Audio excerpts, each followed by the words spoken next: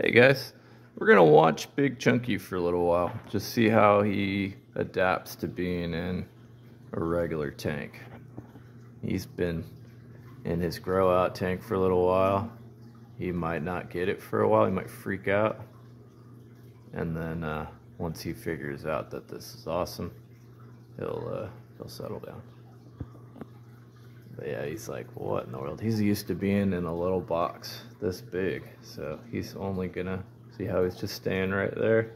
He's still trying to figure out what's going on. And that makes sense. He hasn't been able to swim deep or wide. So it's gonna take him a while to figure out. He has absolute freedom now. Let's check him out. Look at him.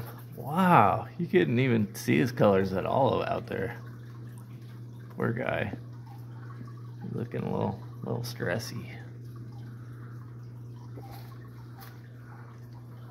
Look at his colors, guys. Unbelievable. He's like, what is this? Heaven? Is this heaven out here? I've been in a little box for a month.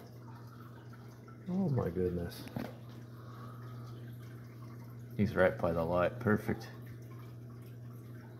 Perfect lighting for show all his orange. He's like, what is going on? He's not used to being able to go down that far. See that? He only wants to go down like eight inches.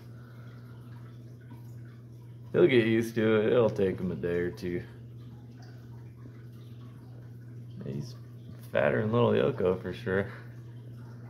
I just didn't want him. He's just too big for that little tank now. He's gotten so fat. I just, I can't keep him in there any longer.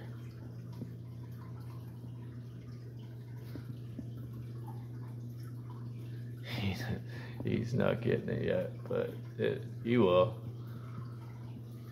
I wanted to see how everybody else would respond to a new male. Yoko and Brown Sugar can sometimes show anger towards new fish.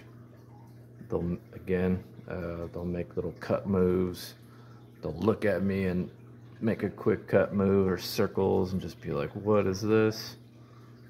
But they seem cool actually. They just look hungry. What's up? You guys okay with this? Got a new tank mate? He's still trapped in his imaginary box. We'll say his other uh, tank was about that big, so he's kind of staying right in what he knows. Might turn the lights off for a couple hours for a little bit more calmness out here. And then uh, just let him get acclimated out here. What do you think about that? Is that a good plan? Yeah? Okay.